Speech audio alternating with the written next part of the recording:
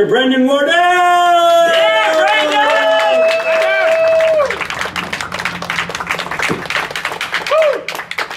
Hi.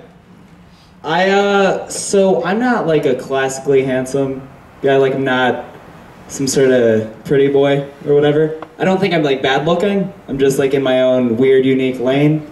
Like I I look like what a Japanese businessman jerks off to.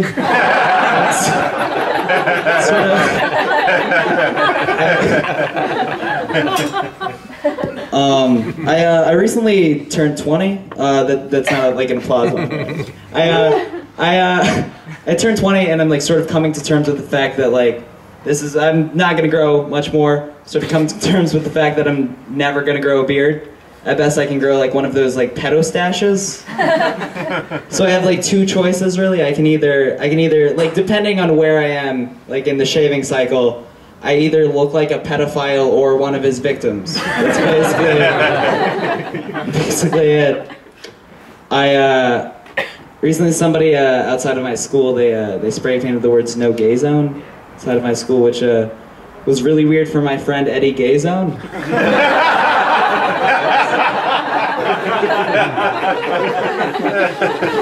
I uh, I just found this like uh, this early '90s Game Boy fanny pack, like in my basement, and uh, I like when I when I found it, I was like, oh man, what a hilarious item! Like, what if I wore this as a joke?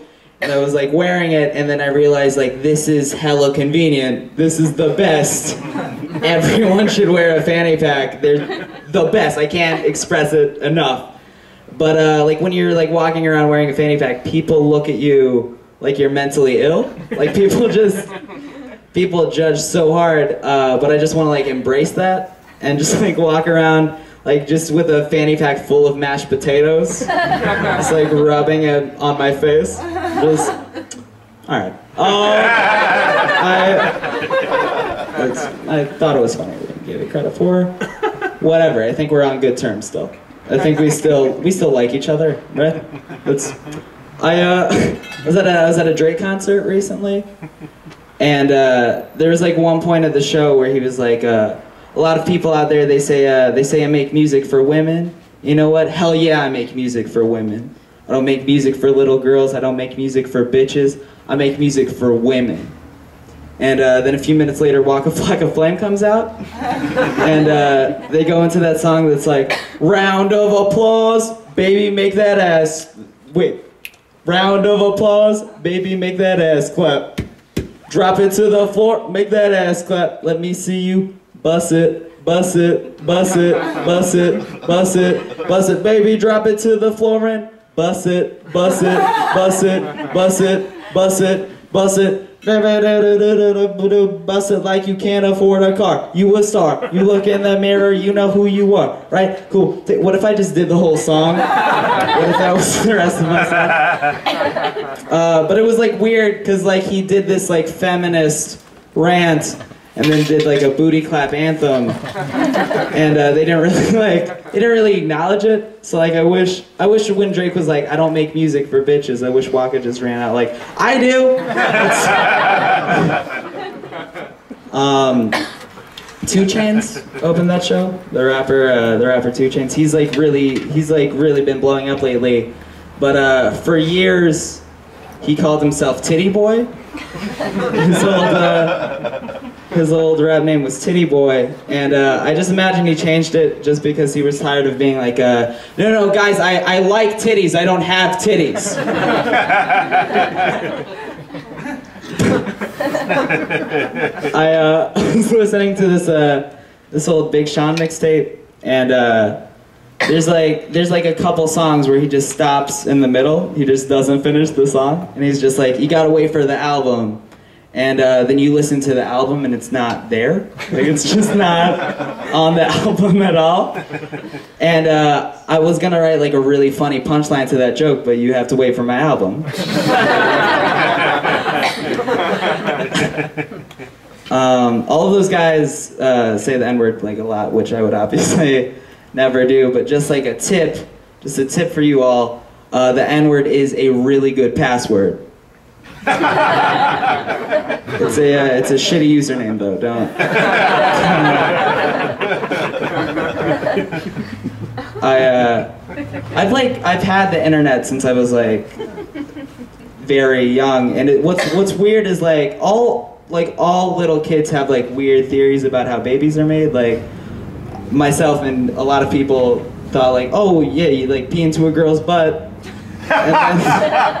a baby comes out later. Uh, and what's weird is like now with like the internet, somebody can just search like guy pees into girl's butt, and that kid can just be like, see, that's? Science.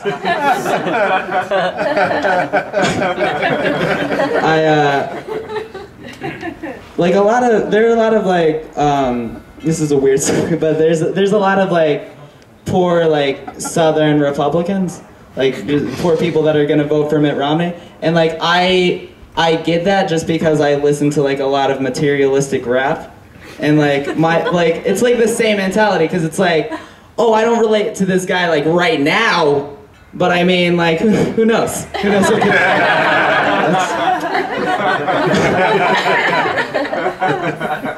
I uh, are any of you like bad at multitasking? Is anybody bad at? I'm like the worst at multitasking. Yeah, no, thank you.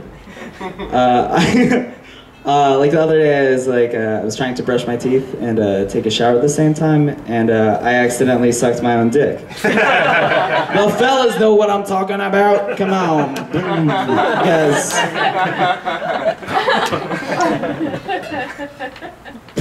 No, yeah.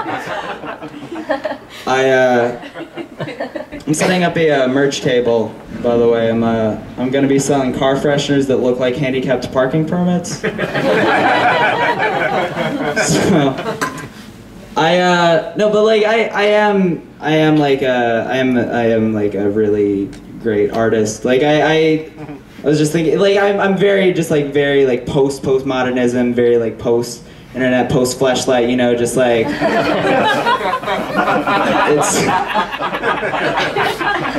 it's like it's an honor for you guys to just like but um anyway like i uh I, I was just thinking like you know a lot of people say jews control the media but uh something i've always said is uh blacks control the media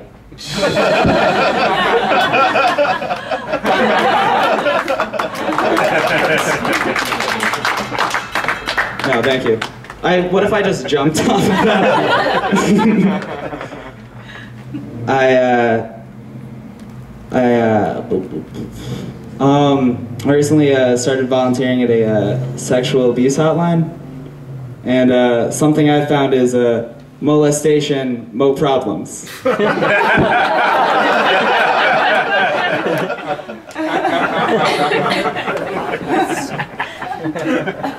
Thank you.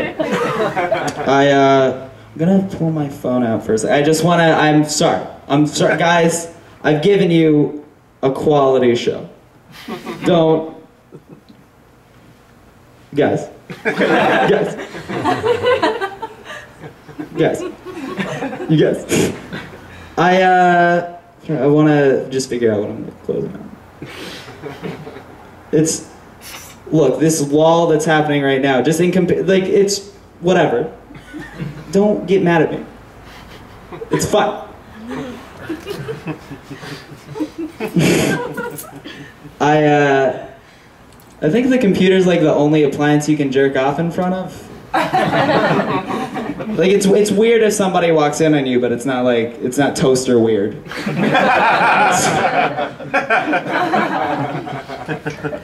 I uh, I don't think any man with an internet username ending in 69 is like ever actually 69. like I don't think Dragon Slayer 69 is drowning in pussy. It's probably it's probably fine.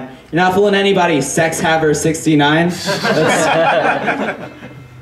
I uh, I recently saw this uh, this this butterfly, and uh, on its lower back was a tattoo of a slutty 18 year old girl.